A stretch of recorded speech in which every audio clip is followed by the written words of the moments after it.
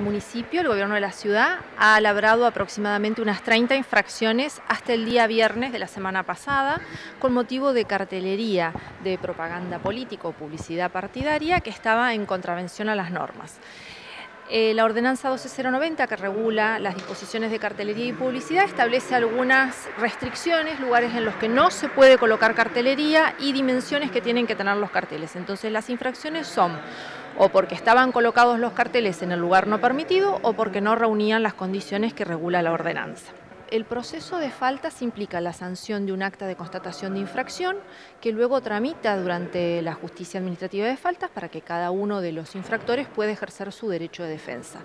Los jueces pueden disponer distintas soluciones a esto, pero en general en materia de cartelería y publicidad las sanciones son de tipo económica y también el, secuestro o el decomiso de eh, la cartelería que esté en contravención. Mariela, ¿qué va a pasar con aquellos partidos que perdieron y que no van a estar dentro de las elecciones generales de un mes?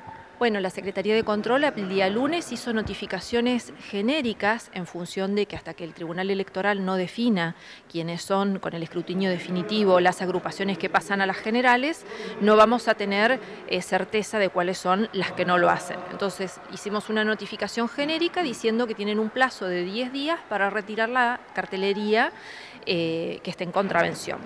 Si vencido ese plazo no se retirara, el municipio puede infraccionar y además de la infracción eh, se dispone un procedimiento de, limpieza a través de la Secretaría de Ambiente que se hace cada vez que hay elecciones, eso se hace de oficio, independientemente de la tarea que tienen que hacer los propios partidos políticos. Así que esta tarea de limpieza comenzaría en los próximos días, una vez finalizados los plazos, o ya ha comenzado por parte del municipio? Ya ha comenzado no solo por parte del municipio, sino que algunos partidos también están retirando la, cartelería. Algunos que ya saben que no van a competir en las generales las están retirando.